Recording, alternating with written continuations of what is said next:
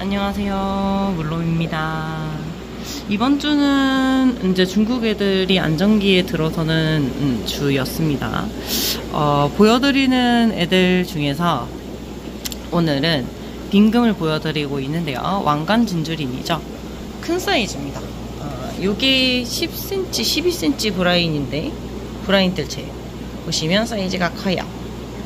그죠? 원래 이제 우리 대형 마트에서 보시는 진주린들이 100원짜리만 한데 요 애들은 지금 사이즈가 많이 큰 아이들이고 화이트 계열 아이들입니다. 그죠? 그러다 보니까 오늘 이제 매장에 왔는데 이렇게 알을 좀 뿌리고 있어서 어느 정도 뿌린 다음에 어항을 바꿔주려고 합니다. 그래서 이 아이들은 지금 이제 성체라고 보시면 되겠죠. 그죠? 어, 그래서 이 아이들 되게 예쁘다고 매장에 오시는 분들이 어, 얘기를 하셨고요. 지금 현재 이 아이들은 다섯 마리가 들어와 있는데 세 마리는 주인님이 계시고요. 두 마리만 어, 분양이 더 가능할 것 같습니다.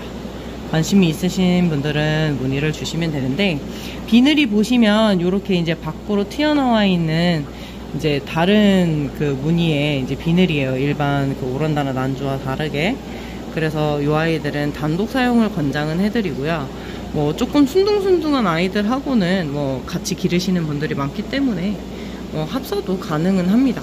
근데 이제 권장을 드리는 건 단독 사육. 이 아이들은 진주린 계열이기 때문에 좀 넓은 어항에서 그죠? 저희는 지금 보시면은 90에 45, 45 어항에 이렇게 다섯 마리가 지내고 있었고 널찍널찍하게 넣는 게 좀 좋으십니다.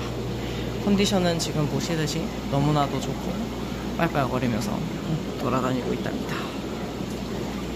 이 화이트 목눈이 아이들 관심 있으시면 문의를 주시면 되겠습니다.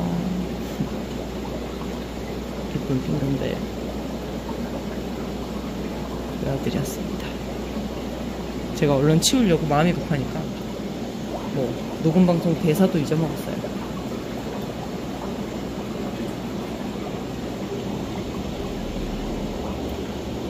지금은 타임. 그럼 이만